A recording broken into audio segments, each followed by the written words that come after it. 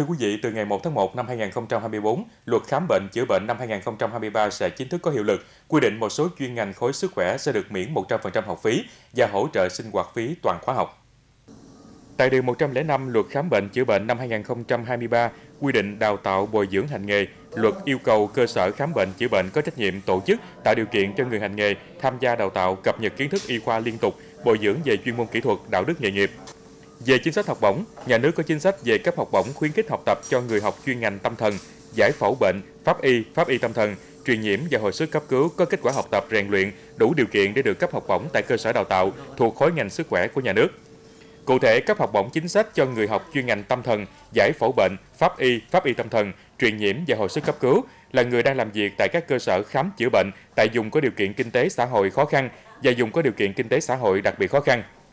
Nhà nước hỗ trợ đối với người học chuyên ngành tâm thần, giải phẫu bệnh, pháp y, pháp y tâm thần, truyền nhiễm và hồi sức cấp cứu toàn bộ học phí và hỗ trợ chi phí sinh hoạt trong toàn khóa học nếu học tại cơ sở đào tạo thuộc khối ngành sức khỏe của nhà nước. Hỗ trợ tiền đóng học phí và hỗ trợ chi phí sinh hoạt trong toàn khóa học tương ứng với mức quy định nêu trên nếu học tại cơ sở đào tạo thuộc khối ngành sức khỏe của tư nhân.